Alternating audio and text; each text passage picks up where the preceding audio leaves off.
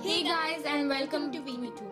This is our very first video and we really hope you like it. If you do, don't forget to hit the like button and subscribe to our channel. We would love to hear suggestions from you. So the materials required are Fake flowers, small nails, a piece of wood and a mason jar template, a pair of scissors, an X-Acto knife, jute rope or a piece of thread. and that's it. So let's get started. Take two pieces of tape and put them on either side of the paper, making sure that the paper does not move. It is not compulsory and optional.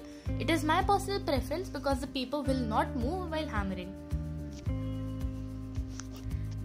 And now take a nail and start hammering on the piece of wood.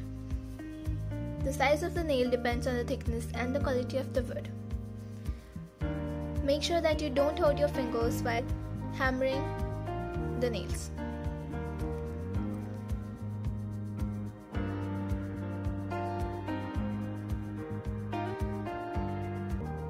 After you are done hammering the nails, remove the tape and start tearing off the paper. It does not have to be precise.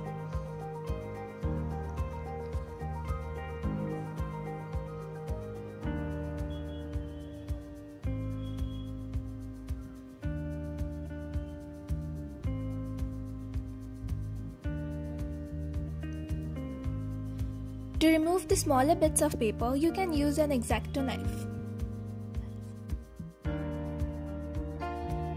Take a string or a jute rope. It would be better if the string is thick.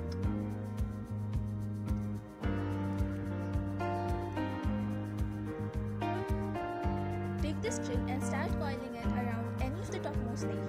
We personally prefer the topmost corner nail.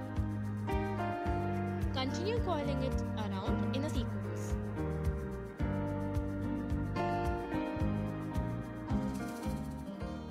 Now take a bouquet of fake flowers of your choice and start cutting the best pieces.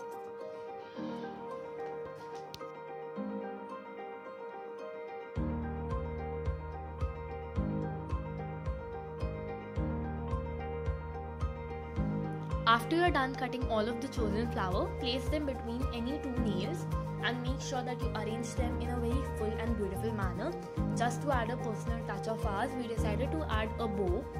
This bow can be of a jute, rope, and whatever you want, but we personally like jute. Uh, so we tied a little cute bow of the jute rope, and that's it. You are complete with your mason jar.